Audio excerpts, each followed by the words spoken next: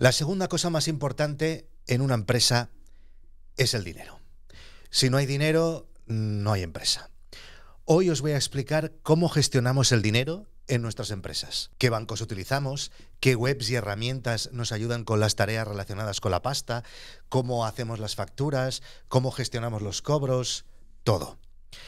En estos momentos, las fuentes principales de ingresos de mi empresa son evidentemente eh, GuideDog, y luego hay otros negocios paralelos como eh, No es Asunto Vuestro, como Nordic Wire o como este servicio que tenemos que se llama Overgroups. Todos estos negocios tienen una característica similar y es que son proyectos de suscripción o software as a service.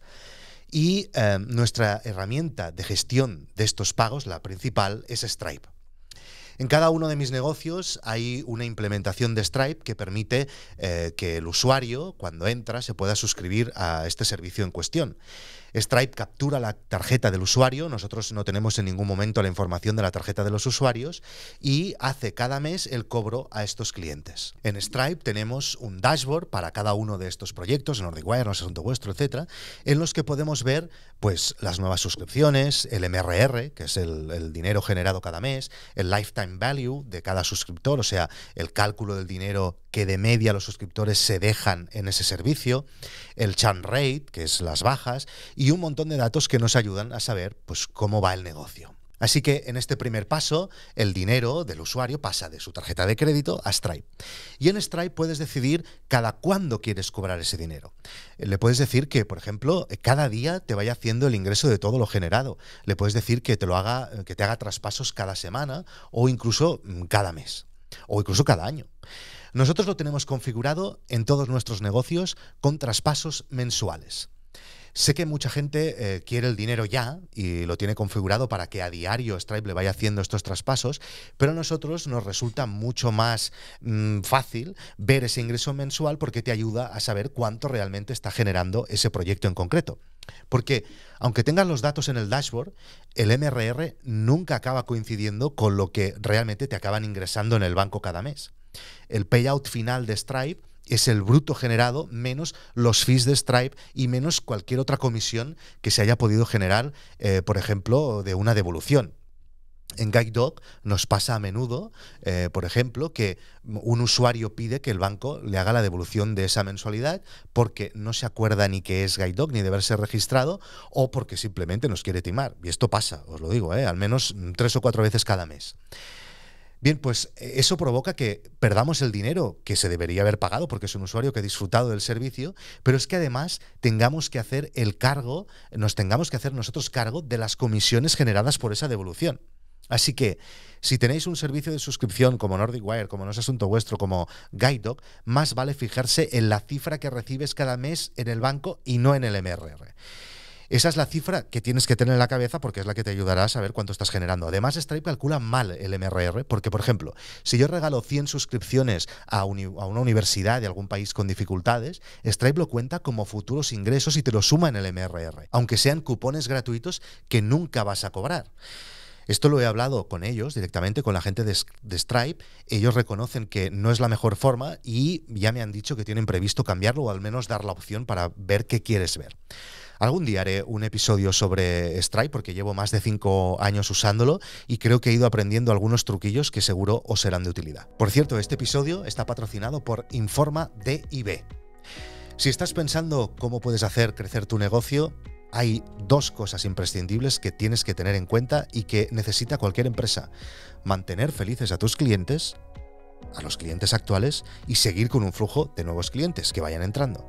Y esto solo lo puedes conseguir manejando la mejor información empresarial. En Informa DIB son profesionales de los datos y te ofrecen soluciones para todas las fases de tu negocio, de tu marketing, de tus ventas, de tus finanzas. Informa DIB es la empresa líder en información empresarial con acceso online a más de 400 millones de empresas en todo el mundo.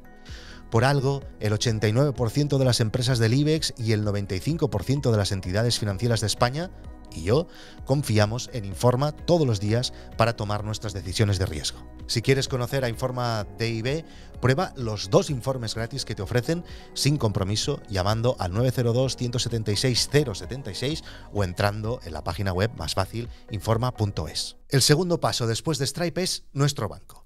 Nosotros utilizamos Conto, ya desde hace un par de años, porque después de comparar un montón de bancos, puedo decir que actualmente para mí es el mejor banco de empresas. Conto me gusta por muchas cosas, sobre todo por su interfaz, que es una maravilla y no como el infierno de las webs y las apps de los otros bancos tradicionales.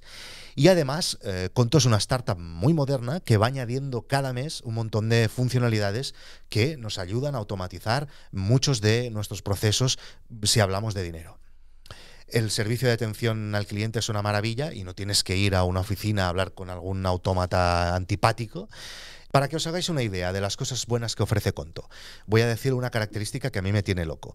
Cuando recibimos una factura de algo que hemos pagado en mi Gmail, desde mi propio inbox puedo reenviar ese email con la factura que incluye que está adjuntada a una dirección de conto y automáticamente esa factura queda adjuntada al movimiento que le corresponde dentro del banco.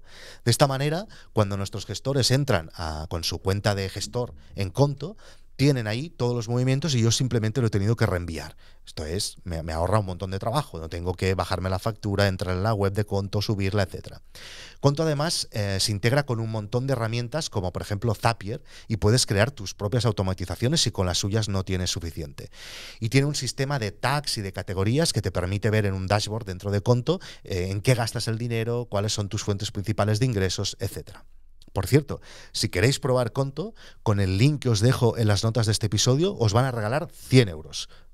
Oye, 100 euros yo mm, hago bastantes cosas. ¿eh? En Guide tenemos que pagar cada mes a un montón de productores y directores de documentales de todo el mundo, porque ya sabéis que tenemos un sistema de revenue share. Para eso utilizamos Wise, otra herramienta que me encanta. Es la herramienta con las comisiones más bajas de todo el mundo, al menos que yo haya descubierto. La diferencia es brutal. ¿eh? Mm, algo que tú pagarías, por ejemplo, para hacer una transferencia con tu banco tradicional, vamos a decir Banco Sabadell, pagarías 50 euros, en Wise pagas 2. La diferencia es increíble. Pero a veces también, aparte de todo esto que os he explicado, tenemos que hacer facturas. Y para eso utilizo WaveApps. Hace un montón de años que utilizo WaveApps. Es una herramienta súper sencilla, me gusta mucho cómo está implementada, es bonita, es fácil y es gratis. O sea que os eh, aconsejo que le deis un vistazo. Al principio de este episodio os decía que el dinero es lo segundo más importante en una empresa. Lo primero, seguro que muchos ya lo habéis pensado conociéndome, lo primero es pasárselo bien. Si quieres pasártelo bien montando tu empresa o tu proyecto, apúntate a nosasuntovuestro.com. Podrás seguir en directo la evolución de los proyectos de emprendedores super top en diferentes sectores y además unirte a una comunidad fantástica de personas a los que nos gusta crear y compartir. Nos vemos en Internet. Chao.